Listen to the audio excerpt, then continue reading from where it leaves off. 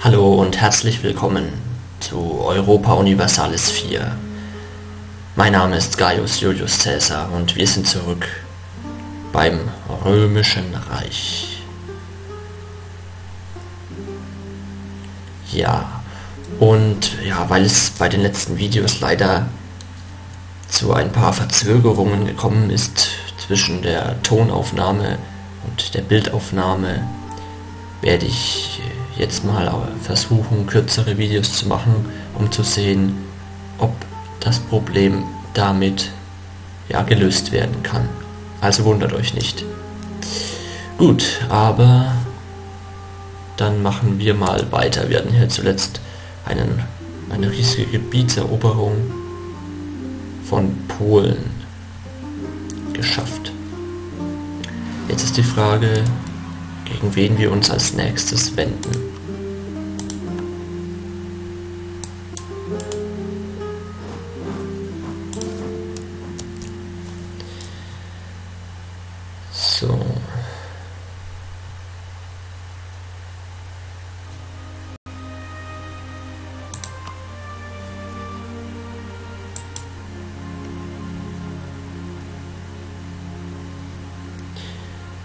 Österreich ist mit Skandinavien verbündet. Das ist schlecht. Und Skandinavien würde auch deutlich helfen, falls wir sie angreifen. Schade. Ach genau, was wir nicht vergessen sollten, ist unsere Vasallen zu annektieren, falls dies möglich ist. Hier Litauen. Zack. Wird annektiert. Dann haben wir nur noch Böhmen als weiteren Vasallen. Ja, allerdings glaube ich kaum, dass wir Böhmen noch integrieren können. Dafür mögen sie uns leider nicht so sehr.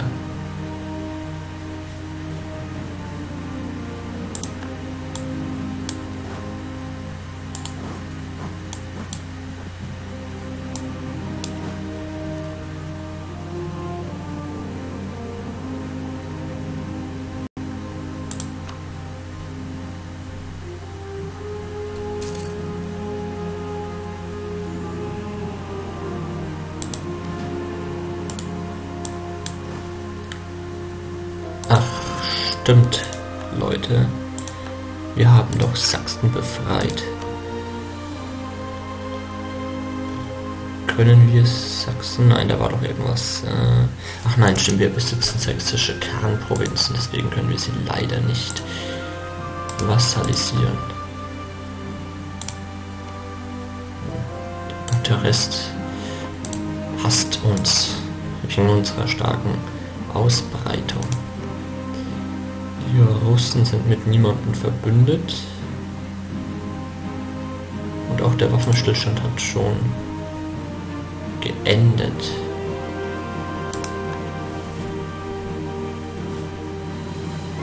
Aber stimmt, wir wollten noch gegen Persien hier noch das holen, was uns zusteht.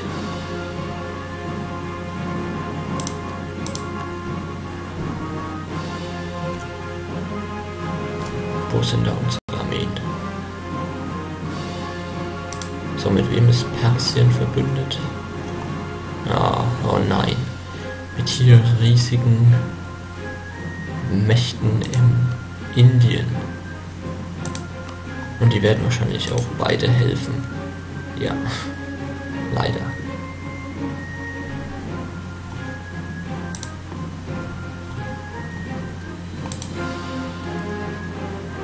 Dennoch werden wir ihnen den Krieg erklären.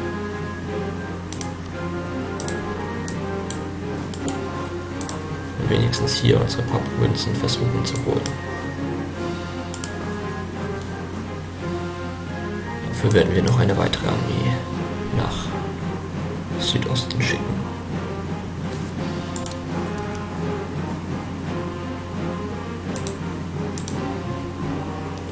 Und natürlich dürfen wir die Konvertierungen nicht außer Acht lassen.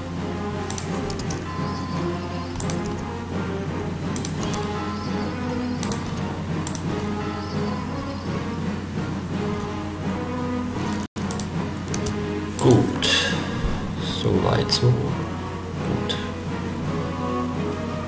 Die Pest.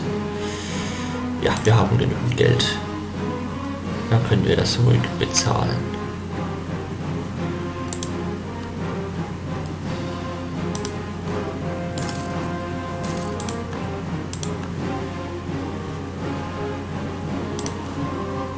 Und wir schicken direkt auch Armeen in das neu eroberte polnische Gebiet. Boah, jetzt haben wir sogar einen 3-Sterne-General erhalten. Sehr gut.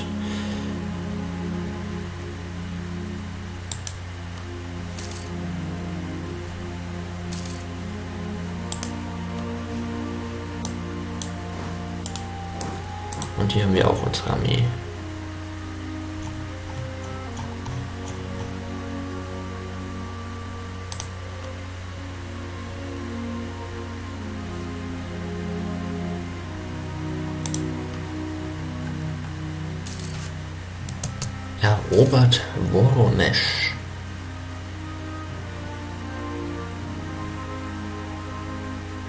Wem gehört denn Woronesch?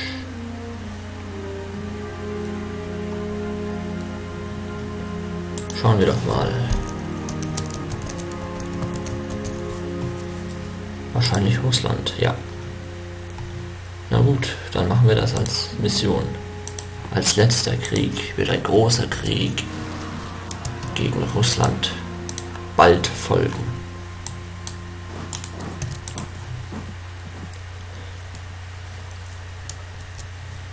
In diesem Sinne sollten wir unbedingt noch weitere Armeen ausbauen.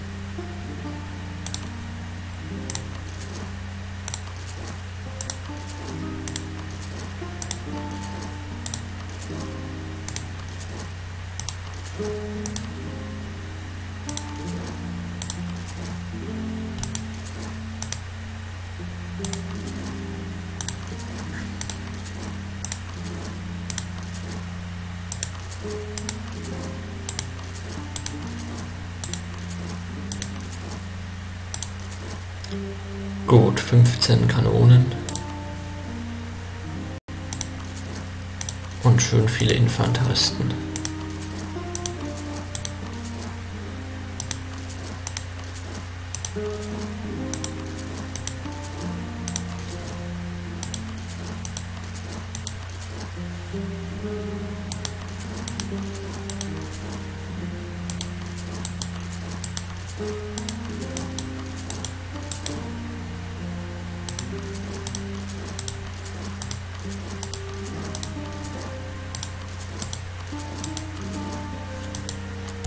Das sollte grob reichen für eine Armee.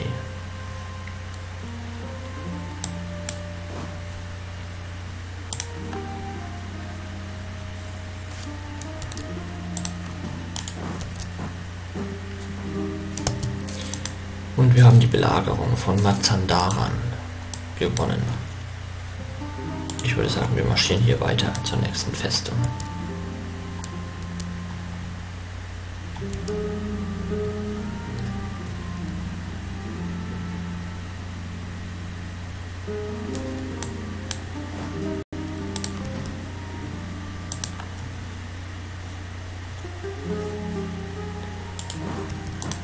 Werden die Armee in Muscat angreifen. Und das Ereignis Flandern tritt der Republik bei. Eieiei.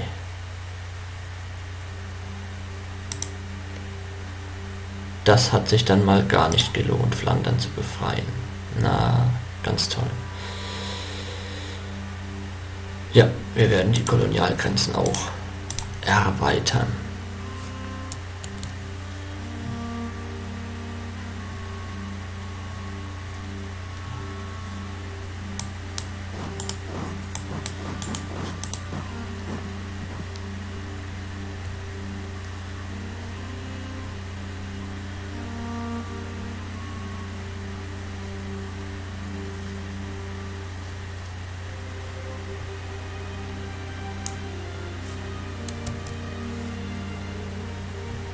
So, und unsere Armee hier, doppelt stark mit einem 3-Sterne-General, marschiert gegen die persische Armee.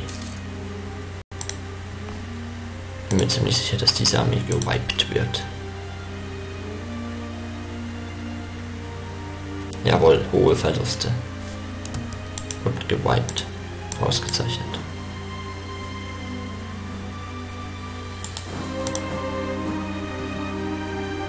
Gut, und mitten in diesem Krieg wird die Folge erst einmal beendet.